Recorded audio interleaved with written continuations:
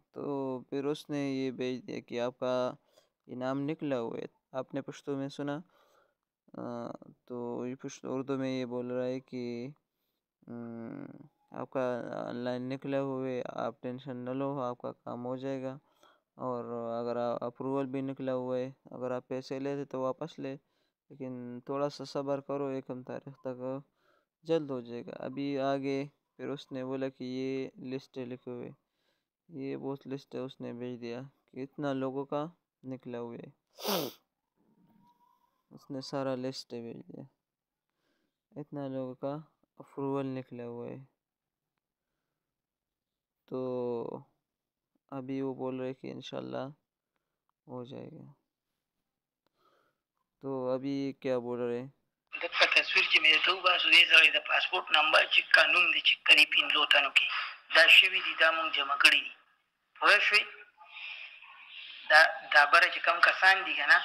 یو یاسر محمد دی یو شاه زمان دی د مردان یو سحر رحمان دی یو فاروق خان دی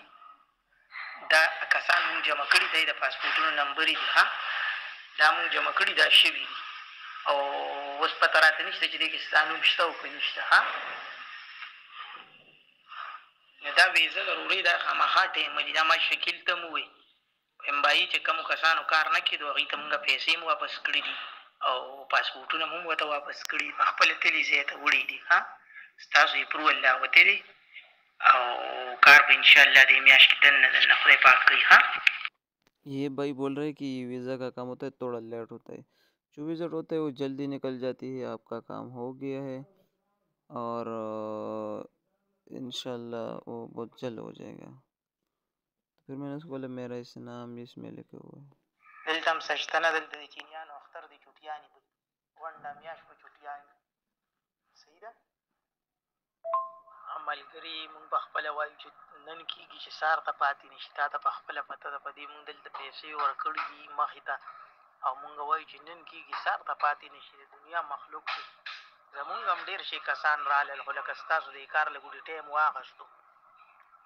نو الله به خیر کی سیدا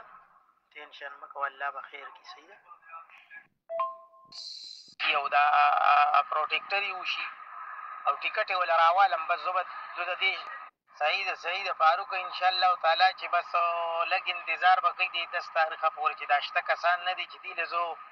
دا ویزې ولګي او دا پروټیکټر یې وشي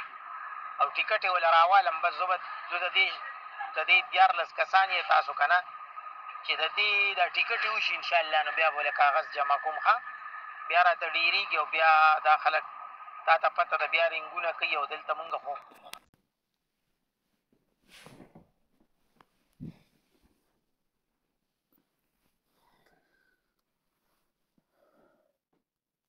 فاروق مو بس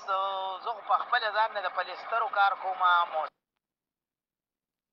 نه ان شاء الله تعالی چې تاسو په مخې پکې کنه او کار ولا کوم نو ما سره بدته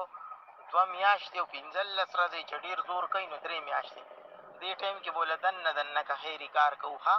اوس مونږ ته ډاریک اپروول میلو شي نو بیا په دې کې سارېدل نه وي میډیکل بوله د مخې سره په میاشت کې دننه دننه انلاین کوو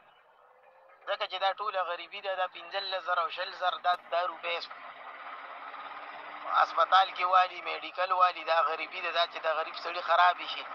نن سبا وړو ته وګوره او خرچو ته وګوره ډېر بد حل دی پاکستان کې چې انشاءالله وبشي خو چې څنګه ما ته دلته اپروول میلو شو ما به تا ته میسج کړي بس ته به د هلک ته ووایې چې بایي کاغذونه روستم ته اوسه زما ورور له زه به ویني